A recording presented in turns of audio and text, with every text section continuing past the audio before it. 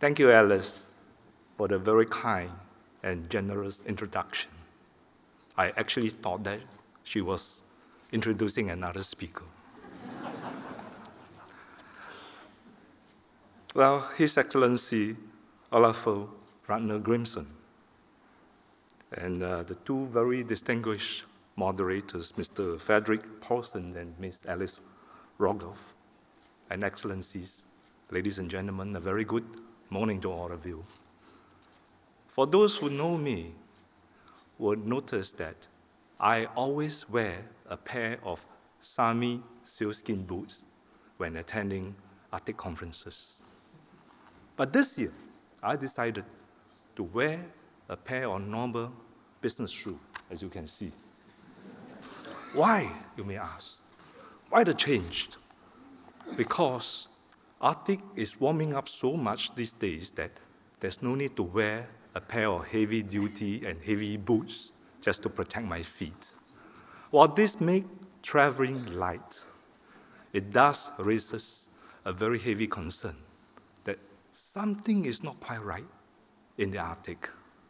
And that's why we have such an assembly of people, experts and all that, gathering from all over the world in this premise to share, in this premises to share your expert views and thoughts.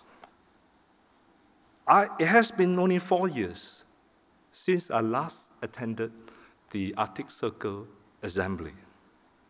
But many things have happened.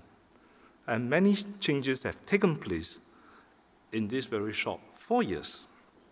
For example, there is an unprecedented decline of the Arctic sea ice, where the summer of 2018 recording some 1.63 million square kilometers less of ice cover as compared to the annual average in the last 40 years. And increasingly, volatile weather patterns, including forest fires within the Arctic Circle. Imagine forest fires within the Arctic Circle. And also record numbers of super typhoons and tornadoes across the Atlantic. I think the Mother Nature is trying to tell us that there is greater urgency to tackle climate change and related issues before it is too late.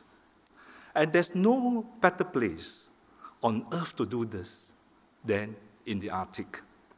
So, Excellencies, ladies and gentlemen, Arctic sustainability requires international involvement and commitment. And a robust Arctic Council is therefore very vital.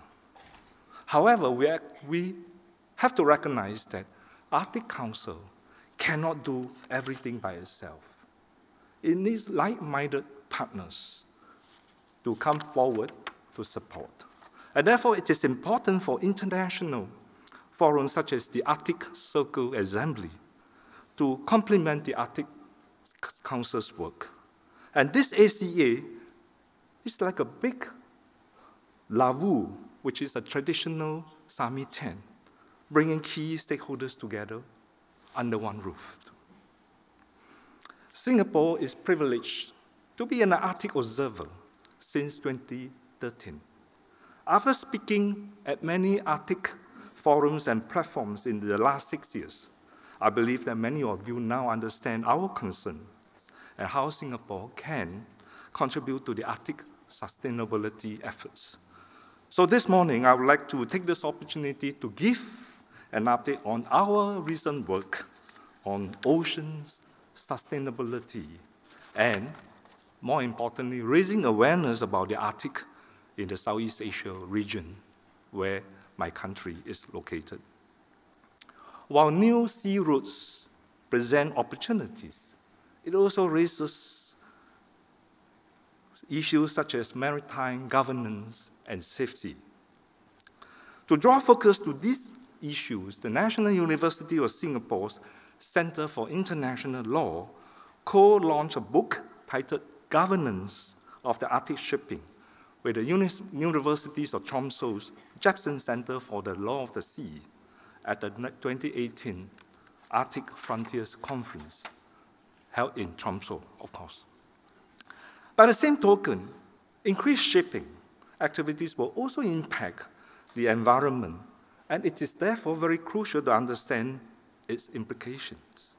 To this end, we partner Norway for an Asia-Europe meeting, ASEM conference, on green shipping in Singapore in April this year. Our interest in biodiversity conservation also goes above the sea and into the air. Some, some of you may be interested to know that about 30 species of Arctic migratory birds make their annual winter holiday visits to Singapore. And they visit Singapore's Sungai Buloh Wetland Reserve. And we have hosted the conservation of Arctic flora and fauna coordinator in this wetland since the middle of this year.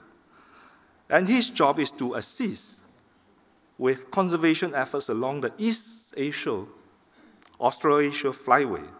And we pay particular attention to the, conserva to the conservation of the crucially, crucially endangered spoonbill sandpiper. They are so vulnerable that my colleagues actually call them the panda of the North. So given the far-reaching causes and consequences of warming Arctic, we have also sought to raise the awareness of the Arctic issues around Southeast Asia through organizing events such as the Arctic Circle Forum in 2015 and also Arctic Frontiers Abroad Forum in 2017. Both were the first of its kind in Asia. And looking ahead, I am very happy to note that Singapore's young people are also taking greater interest in the Arctic.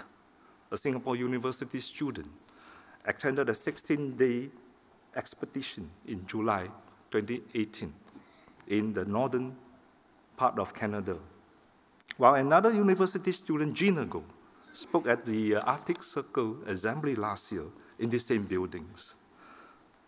So, excellencies, ladies and gentlemen, we only have one Arctic, and whatever happens in the Arctic does not stay in the Arctic, as we always say. And the same is true that whatever outside the Arctic doesn't stay outside the Arctic. So all of us are the stakeholders, and collectively, we can do something to prevent the Arctic from melting away.